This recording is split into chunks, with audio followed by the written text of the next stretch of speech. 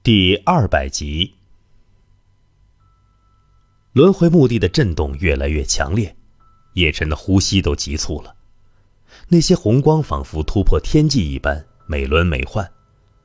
他还感受到轮回墓地的灵气浓郁到极致，远超那玉佩的力量，甚至连昆仑虚也比不上这里的灵气。这是叶晨刚想问黑袍老者，只见后者一声呵斥。一指点在了上空的域外灵石之上，域外灵石直接碎裂开来，无数道碎片向着四面八方涌动。叶晨惊讶地发现，域外灵石的内部竟然是一颗赤红的珠子，珠子通体发红，隐隐有火焰缭绕，神秘之极。黑袍老者开口道：“此珠叫玉心珠，内含域外灵气。”每千年落地球一次，上一次此珠落下，引来一场上古大战，死了近千位强者。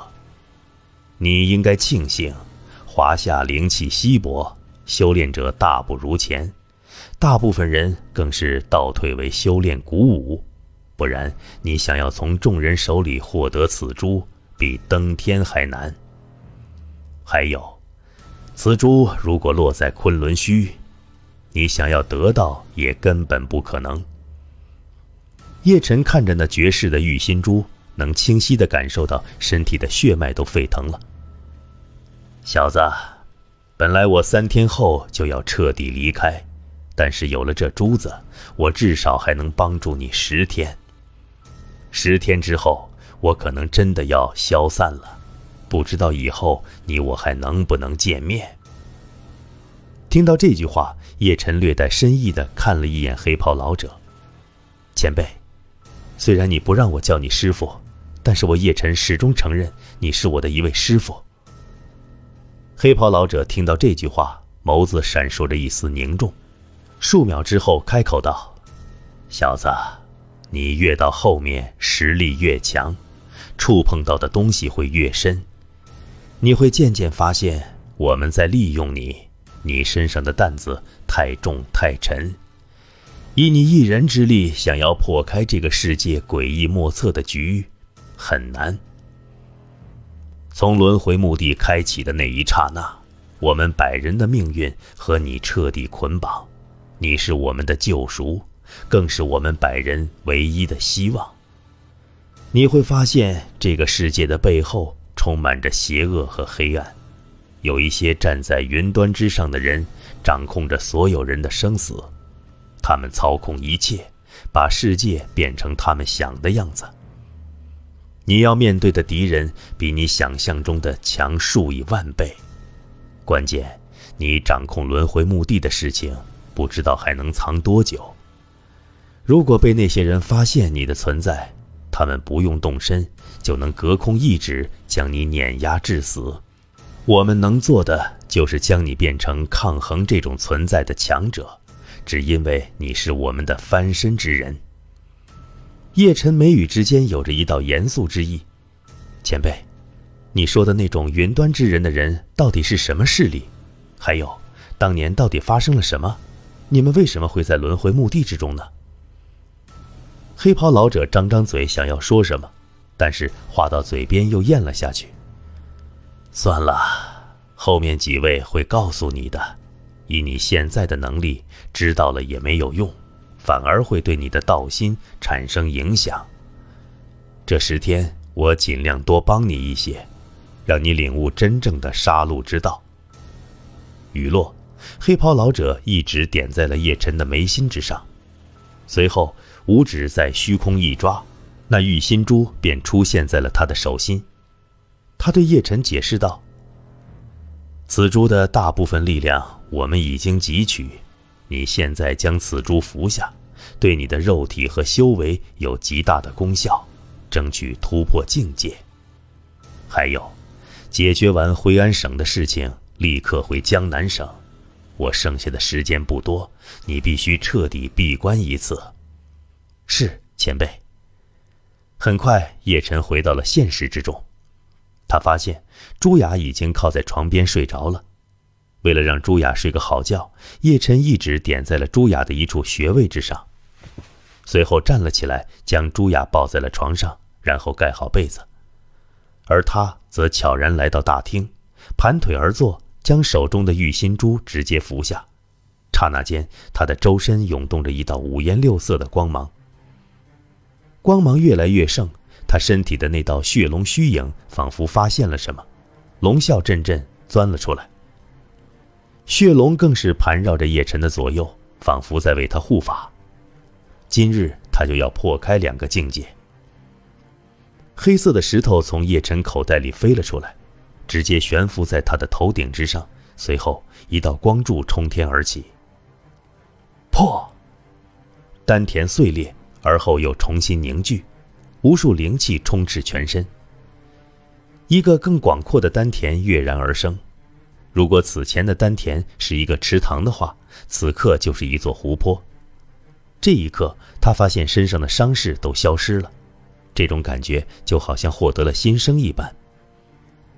叶晨睁开眼眸，发现自己修为的突破，那条血龙虚影也成长了几分，杀戮之气越来越盛，血龙仿佛一口可以吞掉一切。本以为可以突破下一个境界。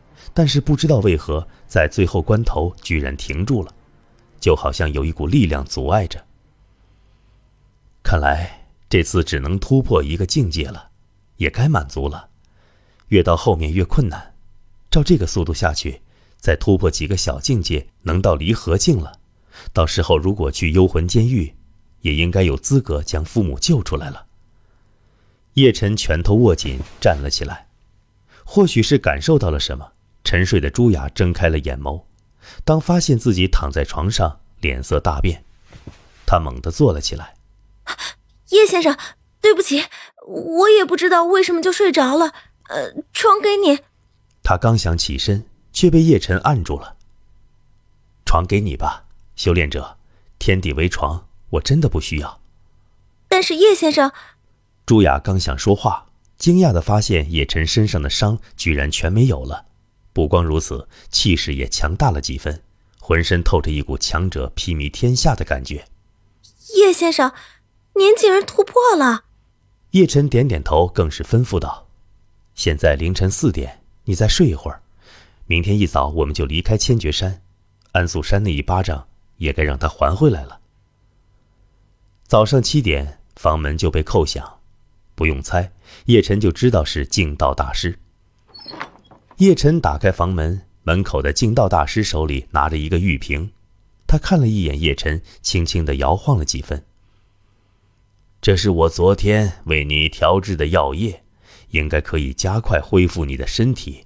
而且，话还没说完，他的声音突然戛然而止，表情变得极其的诡异和骇然，因为他惊骇的发现叶晨身上的伤势彻底消失了。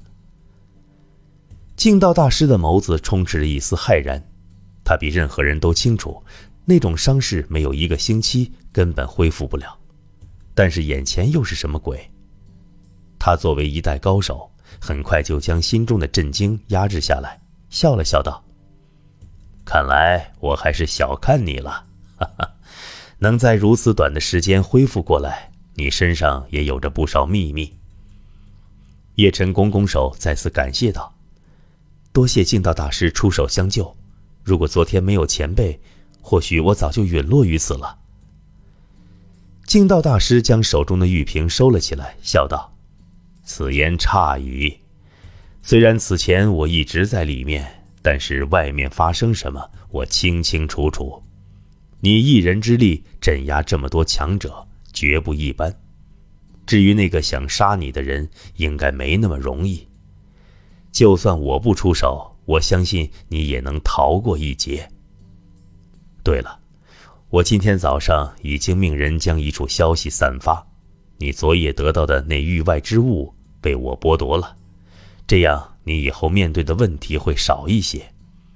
那些宵小之辈只会欺软怕硬，面对我，他们连说话的权利都没有。这也是我现在能唯一为你做的事。这一刻，叶辰有些懵了。两人非亲非故，这个净道大师为什么要帮自己呢？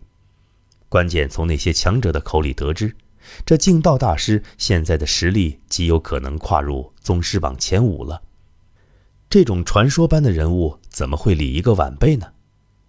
这一切都太诡异了，甚至让叶晨不得不怀疑对方的动机。似乎察觉到了叶晨的疑惑，净道大师从口袋掏出了一块玉佩。我知道你会怀疑，那我也不藏着了。叶晨，此玉你可认识？叶晨目光落在了玉佩之上，神色一变，因为这玉佩是他母亲的。此玉怎么会在你身上？他的语气极其的严肃。净道大师向着一处方向走去。你跟我来。两人来到寺庙的一处庭院之中，中央有一个亭子，亭子两侧写着一副对联。或许经过岁月的痕迹，对联依旧破败不堪，但是依稀能看出字迹。叶晨表情越发古怪，这字也是母亲的。叶晨，你认识你母亲足足三十多年，那时候的我，没有踏入宗师榜。那时候的我只不过是一个不起眼的武者。当年我的情况比你昨天还惨，就在我濒临死亡之际，是你母亲将我救下。不光如此，她不喜欢修炼，却占据着江家最大的修炼资源。她偷偷的将一些修炼资源给我，这也成就了我的今天。我现在帮你，只不过是为了还当年的情而已。你母亲真的是一个很善良的人。七年前，你的母亲曾来此地看过我，当时的我已然闯出了一些名声，他们将这块灵玉给我，可能考虑到以后叶家会出事，他们希望如果哪一天叶家出事，你能活下来，并且要我出手帮你。不求踏上武道一途，至少让你有自保的能力。云湖山庄出事之后，我去东钱湖找过你，但是没有发现。后来我本想为叶家报仇，但是当触碰到云湖山庄里面的事情，我便放弃了，只能默默闭关，让自己变强。那是这十年来，我第一次感觉到渺小。